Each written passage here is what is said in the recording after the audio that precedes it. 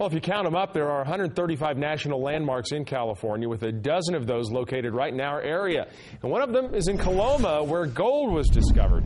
KCRA 3's Walt Gray takes us for a tour and tells us how the tight state budget is affecting visitors. It's one of the most important historical sites in the United States. Gold was discovered along the banks of the American River in 1848.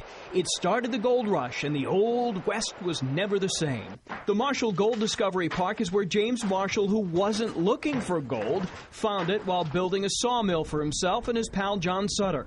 300,000 people a year visit this park. Another 70,000 school kids come on field trips.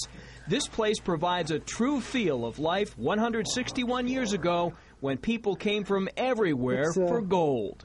Immigrants from China, Japan, the Philippines, Mexico, from all around the world to America in search of gold. The state's first historic monument is of John Marshall, pointing to where he discovered gold. Now, Mr. Marshall probably didn't envision our current state budget woes. Park officials here still analyzing ways to save money to stay open, all while trying to limit the impact on visitors. We're looking at this as another budget cut, and we're going to do the best we can to continue to provide the services that we can. There's some more stuff that comes out of that mine.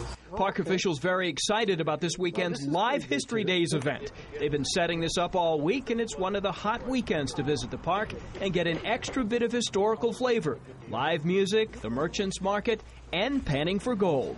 People can learn and actually do some panning on their own. They can see how ropes are made. Still trying to stake my claim in Coloma. Walt Gray, KCRA 3 reports.